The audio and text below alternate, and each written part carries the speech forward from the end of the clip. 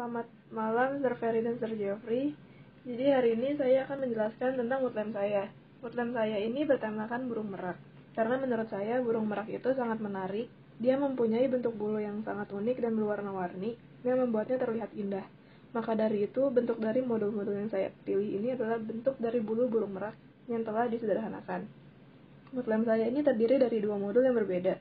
Pada baris atas dan bawah berbentuk lengkungan dua layer dan pada bagian tengah berbentuk lengkungan tiga layer. Warna dari tiap bagian juga berbeda-beda, seperti warna-warna pada bulu burung merak yang beragam. Sekian dan terima kasih.